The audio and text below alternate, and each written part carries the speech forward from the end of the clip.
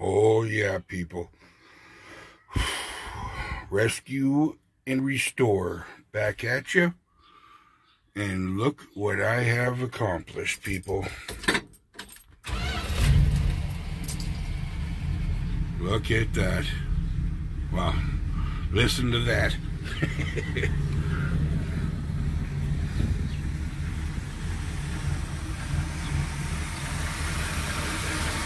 She's running. We did it. Finally got it done. After eight years.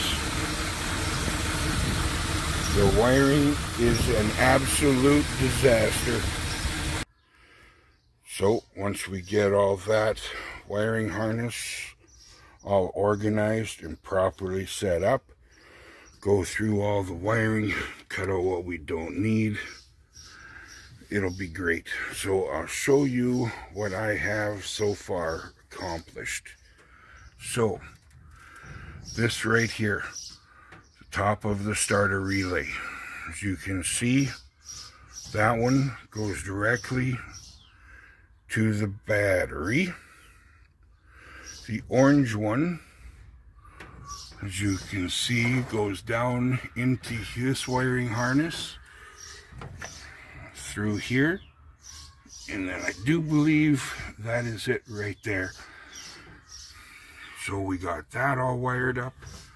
Then this, this one here, this right there is for your neutral safety switch. Okay, people?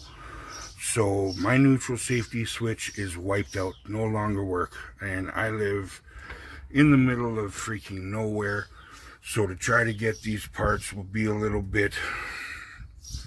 So all I have done is put it up here into a ground. Now, please be careful, people once you do that, it will start in gear. So please pay attention to that. Don't need anybody hurt. Then the other wire, this green one that is sitting there, this one goes down and into your starter. Okay. And then, which one is that? I do believe it is this pink one right here.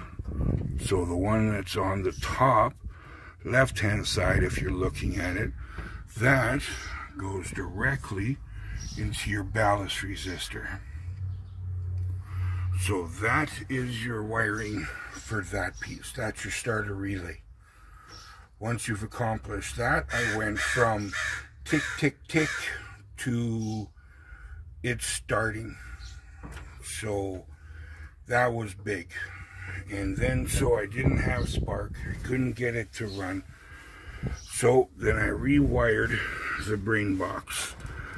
Now these top two wires right here and here go into this wire that goes to your distributor. Okay.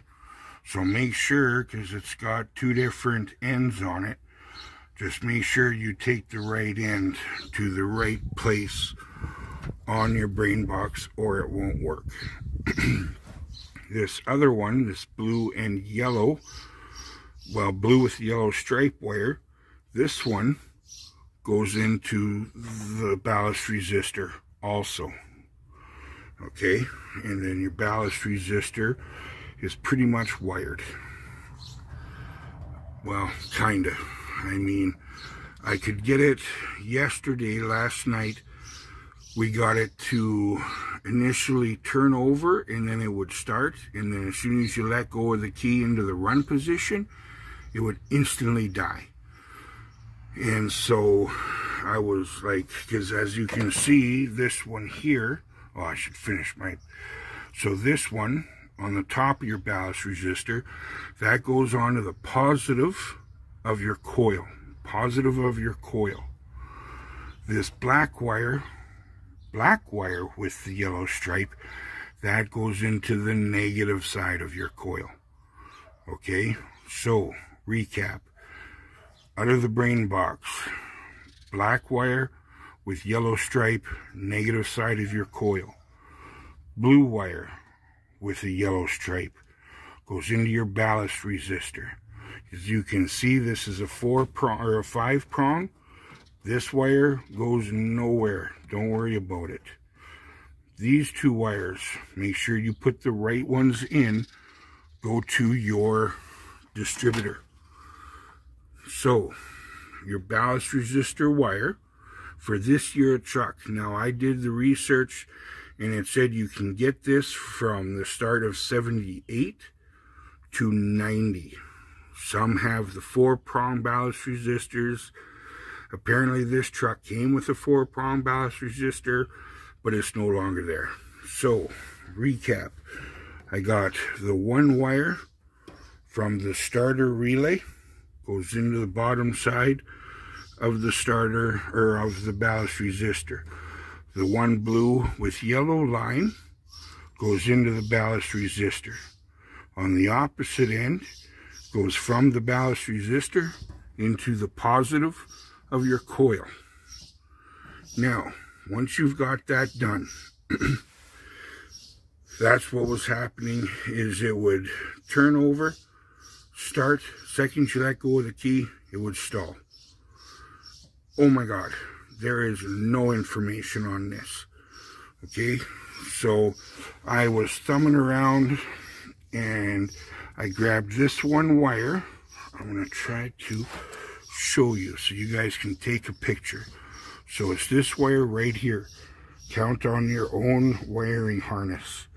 So it's the bottom row, second one in. So there's a green one and then a red one.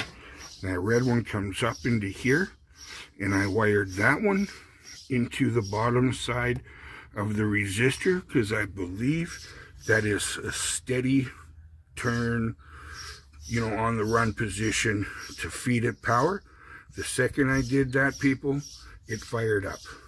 Now, I also did a lot of extra stuff, okay, guys? And I recommend doing it.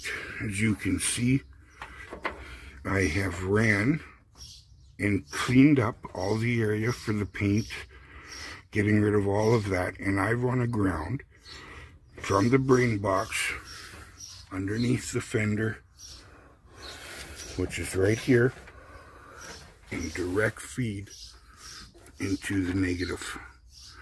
I also, as you can tell from the last videos, I have taken this and cut three inches out of it back to the negative for the negative post on the battery. There's the battery ground. I followed along here. I took everything apart. I sanded it. I cleaned it. I degreased it. As you can see, it actually looks clean all around it.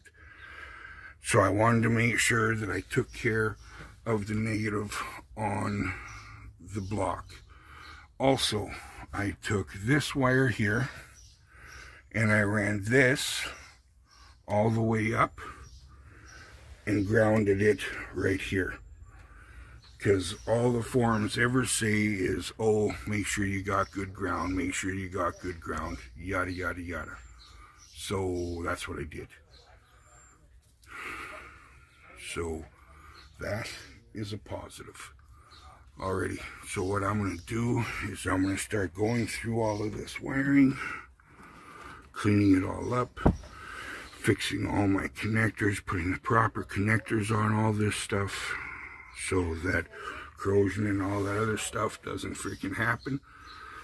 But I want to weed out all through of this freaking wiring harness to start cleaning it up so that this doesn't look like such a mess because I know these, I guess, went to some kind of spark fuel thing. I don't know what they're called, but I am going to go through it.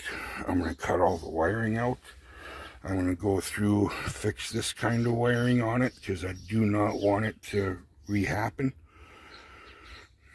And I think that would really really help this thing out is to clean up all this wiring to make it look presentable and less grief for the next guy or me later down the road. So I gotta go through all of this. All these connectors, everything. I got to re-put on right here as you can see. These are my turn signals on this side. And on that side I have some. I got to redo those. I got to figure out the alternator. Make sure I have that freaking top notch. And then it's going to be slow things. I got to take this, get a new hose. Um, I got to, I'm to put new oil in it now that I got it running probably new spark plugs. Um, make sure everything is good. If I need to pull apart the carburetor, it smells like it's running a little rich right now. So I really want to properly go through this because I want a reliable and steady runner. But the fact is, we got it running. So let's go and keep going with this, cleaning it up, making it look better and then you know sky's the limit. Because eventually if everything goes right I'm gonna put that bad boy in it right there. I got the heads in the shop. So this is end game goal. As you can see it is a 440 from a motorhome. And then over here there is the 727 transmission. So I rebuild that bad boy which I'm going to do because my dad can get uh, um, a good kit to rebuild that for about 250 300 bucks. So I'm going to rebuild that with the help of my dad that, I have taken apart the heads, cleaned the heads, got them all organized.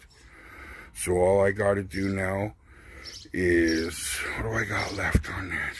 Oil pump, timing chain. Uh, I'm going to put a new water pump in it. Hmm, I think that, oh, I need, uh, crap, what is that? Oh, sweet Mary and Joseph. Um, oh yeah, I need a cam, and lifters. And then that is pretty much going to be ready to go. So I mean a 440 in that machine, forget about it. It'll be freaking, it'll be a rod. It'll be a hot rod. Let's be real. So that is going to be the goal. I'm not sure if I'm going to put this video, or, well, I'm not sure if I'm going to get my wife to put this video up or if I'm going to wait, bring you back once I've cleaned up all my connections. I got everything I need to make everything proper. I got all the wire connectors. I got the heat shrink. I got the soldering gun and iron for something to just clean that up properly and make it really, really good.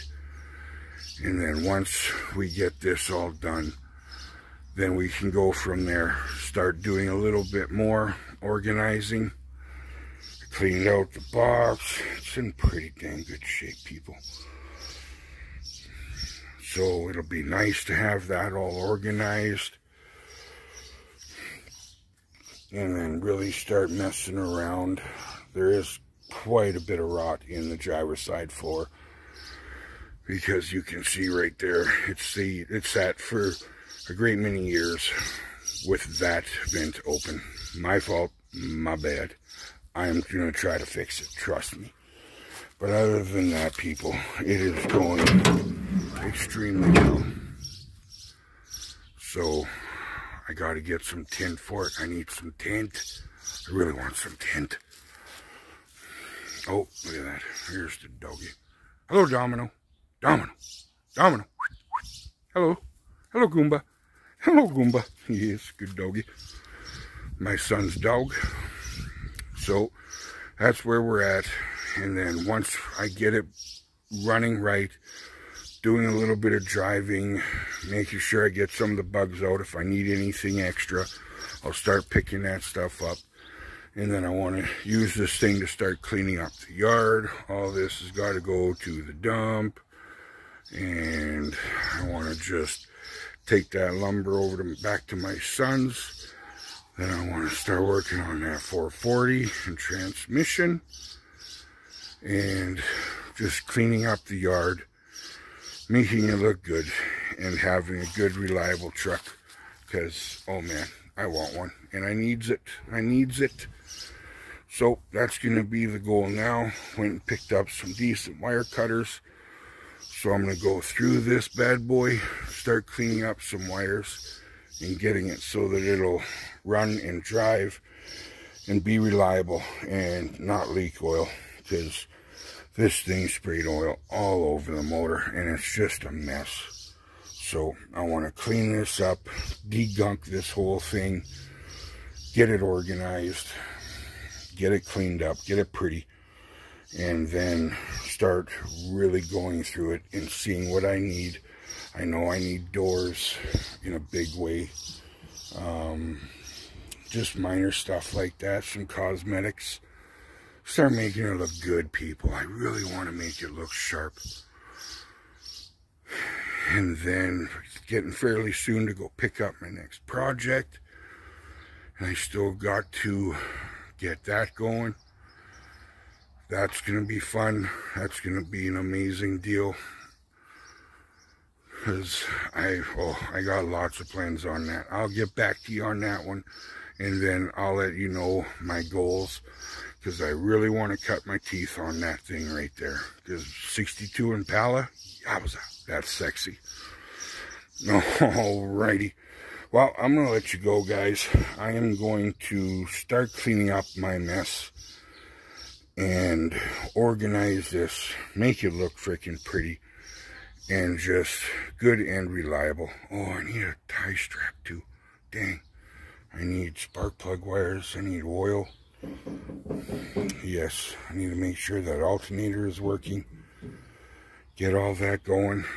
But it's, we got it, man. Like, share this with your friends, people. And if it helps out 10 people, I'll be happy. Because I know what I've gone through to try to get this wiring and I am no good at this. So if somebody else can use this to help them out, that would, I would love that. I would love that. Just to allow this to help somebody else. And I prayed a lot and thank God that this happened because Mental midget. So I'm the, I am very happy and ecstatic that it ran and we got it going. Now it's just a question of making it reliable. Bring out some more videos, show the fact that I've cleaned up all the wiring and everything looks better and neat and tidy. And uh, I think it'll be great. And then we'll bring out some more videos. I'm just new at this. I'm going to probably put out a video of all the YouTubers that are my heroes that I watch, that I enjoy and uh, we'll see if we can get some traction with this and see what we can do. So thank you everybody for watching. Hope this helps. Apply this to other Dodges, whatever you can. Hopefully this helps you go through that. And then we'll bring you back at a later date and show the progress of what's going on and just having a completely different truck well, you know, same truck, just a lot better, would be a big positive. And clean. Clean would be good, yes. So, thank you for watching. God bless, and be safe. And, uh, phone's a family member. Tell them you love them and you miss them. And uh, you guys have a great day. Bye-bye.